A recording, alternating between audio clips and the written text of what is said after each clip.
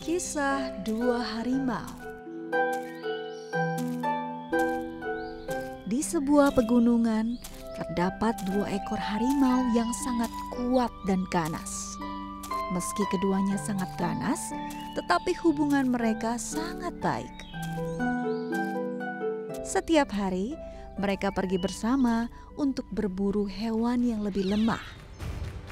Di belakang mereka ada seekor hina yang lebih lemah tetapi licik.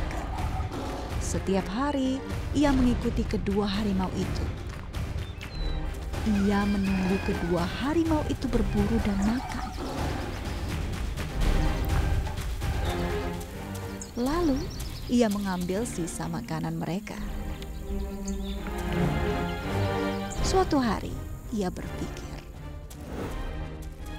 Kekuatan kedua harimau itu begitu besar. Jika aku tidak waspada, suatu hari nanti nyawaku mungkin akan melayang. Aku harus memisahkan mereka agar keselamatanku terjamin.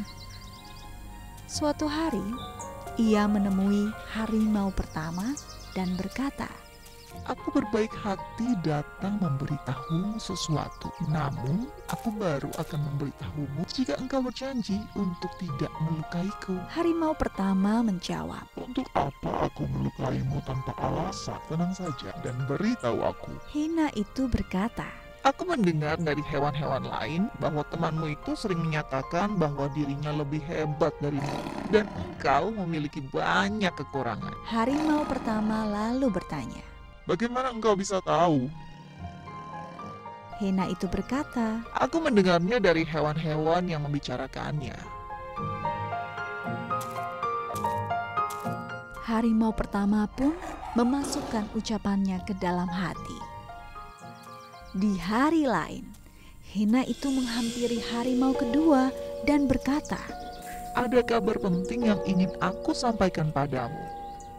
Apakah engkau tahu bahwa temanmu sering menjelek-jelekanmu dan berkata bahwa engkau tidak sebanding dengan dirinya? Harimau kedua bertanya. Siapa yang memberitahumu?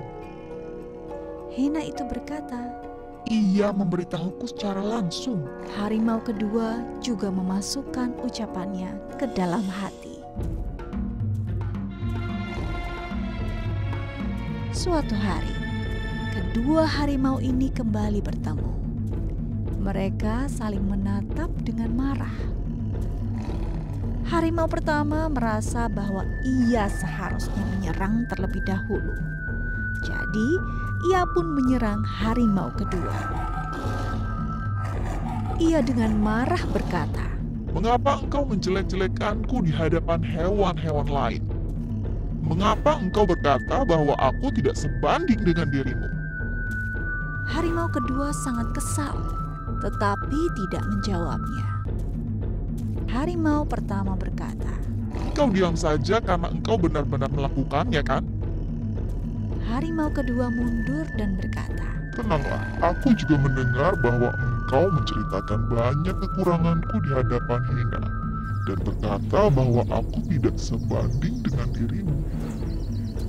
harimau pertama berkata, Aneh, aku juga mendengarnya dari Hina. Ia mengatakan hal yang sama tentangmu. harimau kedua berkata, Kita lebih kuat dari jenis hewan lain di dalam hutan. Kita tidak boleh bertikai. Jika bertindak impulsif, kita berdua akan terluka. Engkau mendengar darinya, aku juga mendengarnya darinya. Jadi pasti ada kebohongan di dalamnya. Kita hendaknya tetap tenang. Dari kisah ini kita tahu bahwa meski sangat ganas dan impulsif, harimau juga mampu berpikir dengan tenang. Sehingga dapat menghindari pertikaian antar harimau yang akan menimbulkan kekacauan di hutan.